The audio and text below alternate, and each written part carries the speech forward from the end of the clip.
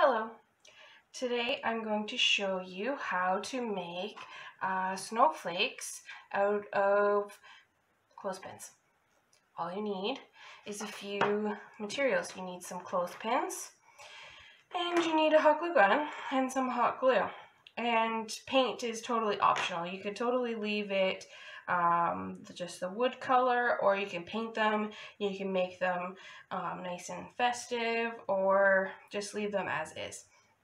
So the first thing you need to do is you need to take your clothespin and remove the metal bit from the middle. So to do that, you just kind of twist it and pull it apart until that metal piece comes off.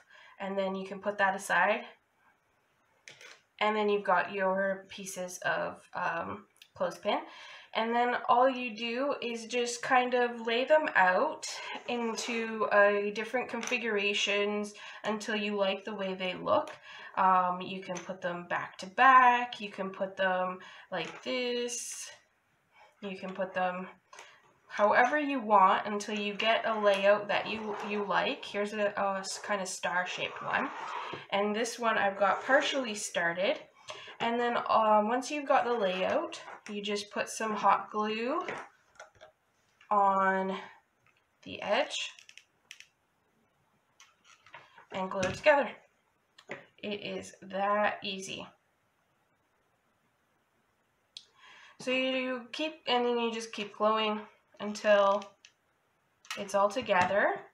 Um, and then when you're done, you can um, add some embellishments. Maybe you've got something nice um, and sparkly you can put in the center here or um, there you have different sizes of clothespins so you can make a smaller snowflake to go in the center there um, and then you just add a bit of ribbon uh, and hang it up and there you go. You've got your uh, snowflake made from clothespins.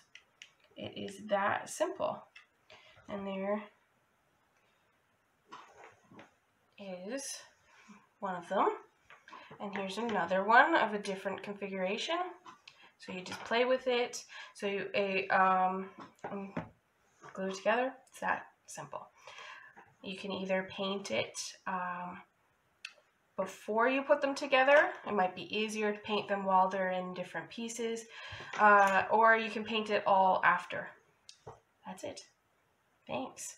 Bye.